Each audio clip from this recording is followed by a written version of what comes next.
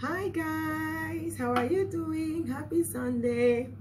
I hope you had a great day today. If you have not listened to my podcast or watched it today, what are you waiting for?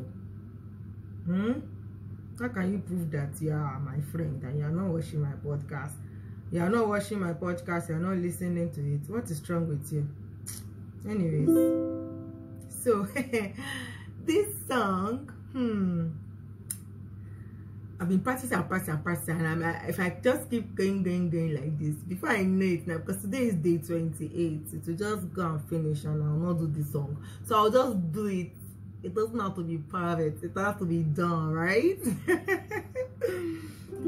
I love the song. This is by Olufunmi. Olufunmi, yeah? Mm-hmm. She's going to be coming to my podcast in about two weeks. Yes, from now. I love the song. From the moment I heard the song, I fell in love with it. And I knew I was just going to do the song before the end of my, you know, challenge. It's called Iyin Ye OO. Iyin Ye OO, which means you're worthy to be praised, right? Bear with me, but go and listen to the to the, to the original song. is fantastic. So this is like a sorry, Olufunmi, but manage me as I am.